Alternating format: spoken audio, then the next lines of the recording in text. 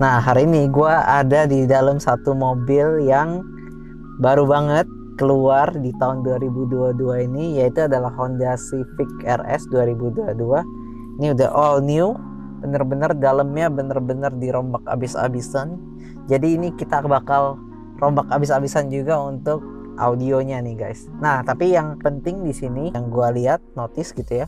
Sekarang itu dia twitternya nggak di segitiganya lagi. Jadi segitiganya sekarang udah nggak ada twitter nih guys. Nah sekarang itu diganti ke twitternya di dalam pilar ini guys, di dalam pilar A. Jadi konsepnya kita tetap akan OEM look. Jadi twitternya akan tetap kita pasangkan di sini dan di bagian uh, pintu tengahnya juga udah ada two way. Uh, dia ada Twitter sama mid bus jadi ini bener-bener untuk secara audio sih RS sih udah dapet semua ini. Tapi ya tetap aja yang namanya orang tetap mau audionya pasti lebih bagus. Jadi bakal kita upgrade nih audionya. Oke okay guys sekian dari gua. Uh, nanti kita tungguin aja hasilnya seperti apa. Stay tune. Halo guys, kembali bersama gua Regen di channel YouTube Mega Audio Jakarta. Nah, hari ini gua mau ngebahas satu mobil yang bener-bener baru juga dari showroom dan mungkin masih cuma 3-4 unit ini di Indonesia yaitu adalah Honda Civic RS 2022 Let me go for one day. Let me lose myself again. Give me something for the pain. Always trying to pretend That I'm not living just a lie broken heart and shattered lives. Let me go for one day. Let me lose myself. Oh, oh,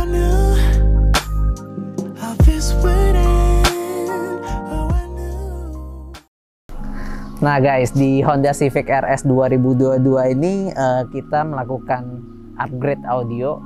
Padahal dia ini udah jauh dari generasi sebelumnya ya, yang uh, 2000 21 ke bawah itu itu tapi kita robak lagi supaya menambah kualitas audio lah di dalamnya. Karena memang sang owner sehari-hari pakai mobilnya untuk daily dan juga dia kan hobi riding gitu ya. Jadinya dia mau audionya seenak mungkin lah dan dia juga penikmat audio gitu ya. Nah sebelum gua ke sana Civic ini mau gue ceritain sedikit karena ini Civic terbaru juga mungkin banyak yang dari kalian pengen uh, lihat juga eksteriornya dan interiornya kayak gimana sih. Nah yang pertama yang paling menonjol perubahannya adalah di bagian depan pastinya ya. Tetap ada kesan sportinya dari Honda Civic tapi di sini dia udah kalau dulu itu Honda Civic itu terkesan sporty, sekarang itu lebih elegan. Jadi lekukan-lekukannya lebih halus, terus dia grillnya itu lebih kecil di bagian sini, ya uh, terpisah. Jadi jauh lebih tajam ya di sini, tajam. Tapi lekukannya lekukan yang nggak nggak tajam gitu ya. Jadi dia mengusung gaya elegan uh, dengan warna merah yang ini merah-merahnya Mazda gitu ya. Beda merahnya Mazda. Jadi nggak mencolok tapi menonjol gitu nah peleknya itu warna hitam dope gitu nah ini jadi keseluruhannya terus kalau kita lihat di belakangnya dia juga ada kayak sirip ikan hiu itu ya sirip ikan hiu. Terus di sini dia juga udah dapet spoiler uh, kecil di bagian belakang. Uh, kesan lampu juga terlihat cukup sporty dan elegan. Jadi untuk perubahan looknya lumayan signifikan sih di terutama di bagian depan gitu ya. Jadi Civic ini jauh lebih elegan nah kita mau lihat ke dalamnya dan sekalian gue bahas audionya juga tuh di dalamnya. Nah oke okay guys. Jadi kita masuk ke dalam. Di dalam itu uh, jauh banget sama Civic yang lama. Kenapa? Karena satu hal ya itu adalah perubahan di bagian grill daripada AC-AC-nya nih. Jadi dia udah seamless. Jadi dari kiri sampai yang AC tengah itu satu grill panjang gitu ya. Terus lu kalau mau arahin AC ya ini nih. Ini nih. Arahin AC-nya. Jadi unik banget sih. Nah, di dalamnya juga kesan elegannya juga udah dapet. Di sini eh, tombol-tombolnya udah ada backlightnya semua, pengaturan AC, terus ada USB charging juga yang gampang banget diakses Nah ininya uh, jahitan warna merah, terus kesan ada glossy piano ya di sini, jadi uh, terlihat mewah sih di dalamnya. Tampilan LCD pun udah beda, jadi dia ada TFT dan udah bagus lah gitu. Uh, secara siang dan malam itu cahayanya udah enak. Jadi sekilas dia terlihat elegan dan juga lebih futuristik. Nah di bagian head unit head unit ini kita nggak ganti kita tetap pakai standarnya. Karena memang dia itu udah fiturnya udah lengkap dan juga dia ada kamera dia ada dia ada kamera mundur juga kayak gitu ya. Nah ini kita bisa lihat beberapa mode nih. Tuh ada yang white ada yang normal. Nah tapi di sini juga udah bisa Apple CarPlay dan segala macam dia udah dilengkapi dengan um, fitur yang udah cukup mumpuni lah. Secara suara juga head unit ini lumayan menunjang gitu menurut kita. Jadi kita nggak melakukan perubahan karena memang belum banyak juga yang terutama yang bisa plug and play untuk Honda Civic ini. Nah di bagian masuk ke bagian sebenarnya lumayan concerning yaitu adalah di bagian kekedapan suara kabin ya. Karena memang kita tahu Honda itu agak sedikit rewel di bagian sana berisik gitu ya. Uh, terus um, juga dia itu ya itulah masalahnya road noise terus uh, agak berisik lah nah jadi kalau di sini itu ya itu uh, yang kita concern. Tapi memang pas kita riding pertama uh, kata ownernya sendiri juga udah jauh lebih baik peredamnya. Nah tapi kita peredam lagi di bagian pintu depan dan juga di bagian bagasi belakang itu uh, karena ada ban serepnya itu kita semua full peredam. Nah ini di bagian pintu dua layer kanan kiri di bagian belakang juga satu layer di bagian ban serep sampai ke setengah dari spakbor ban itu ya yang di bagian belakang. Jadi full lah itu satu petak itu satu area. Kita full peredam supaya karena kita bakal taruh subwoofer juga di sana jadi bisa jauh lebih solid lah suara bassnya lebih bersih gitu. Nah kita masuk ke audionya. Audionya itu sebenarnya simple lah ya two way system OEM look. Jadi kalau lu masuk ke sini kesannya nggak ada nggak ada yang di upgrade ya karena speaker speakernya terutama twitter twitternya itu kita masukin langsung ke pilar uh, A nya itu yang sudah ada sebenarnya udah ada twitter aslinya ya. Nah itu kita masukin kita pakai speaker dari Pioneer TS V170C itu kelas yang kedua tertinggi dari uh, Pioneer.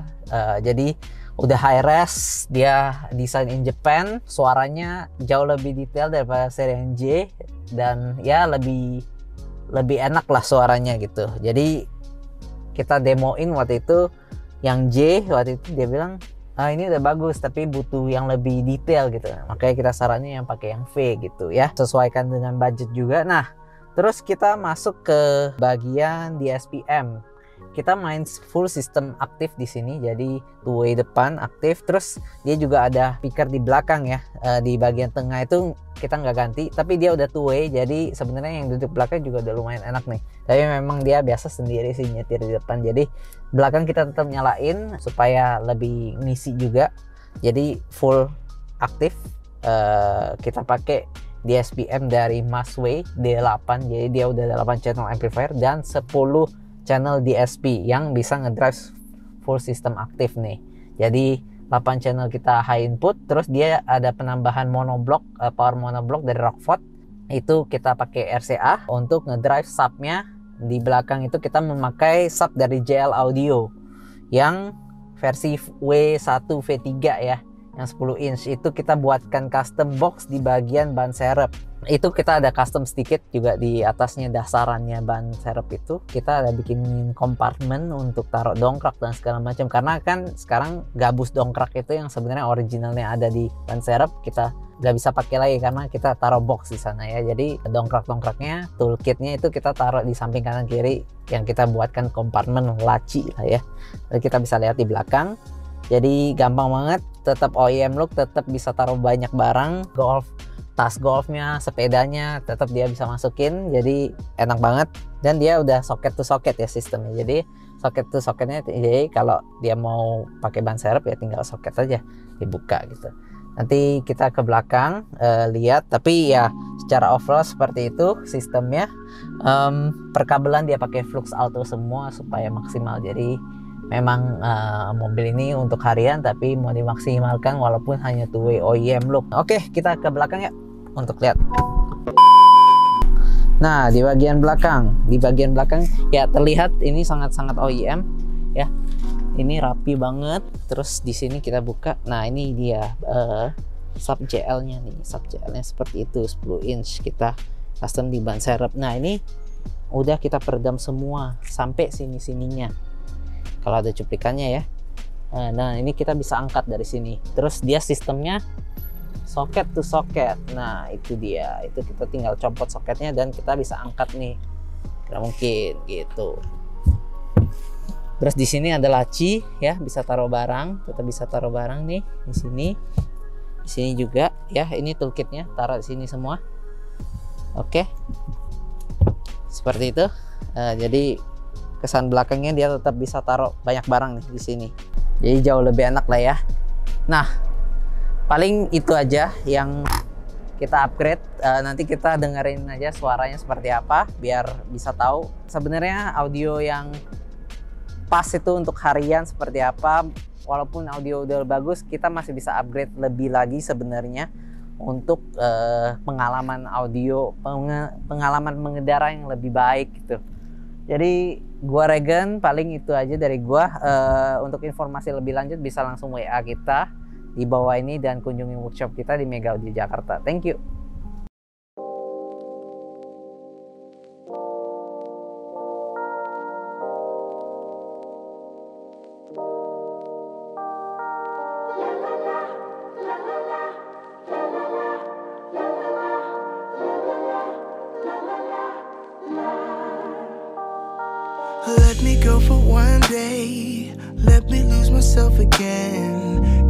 Something for the pain. Always trying to pretend that I'm not living just a lie. Broken heart and shattered lives. Let me go for one day. Let me lose myself.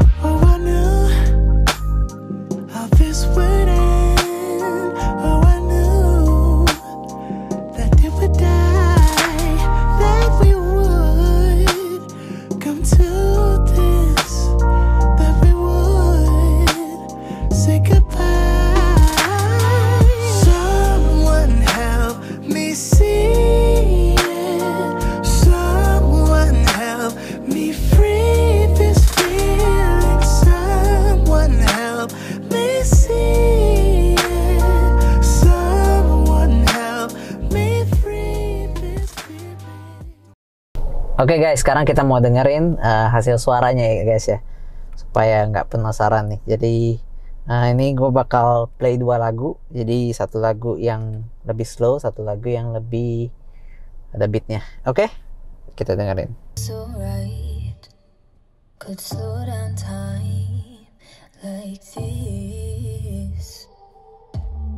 Everything I needed is in your eyes and in your mind.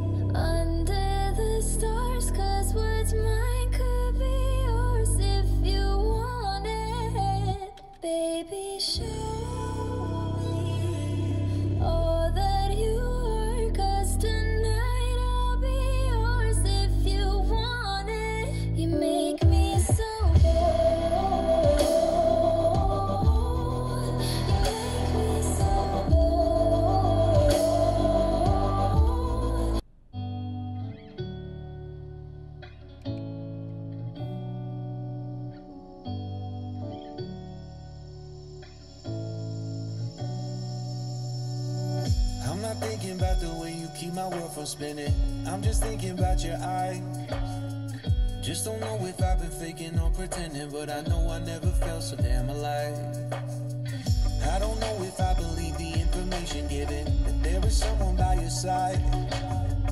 Coming back inside my body for a second, there is no way that I'm never gonna try. Hello, where you at? Where you been? Tell me everything about you. Go so I can write it down and become the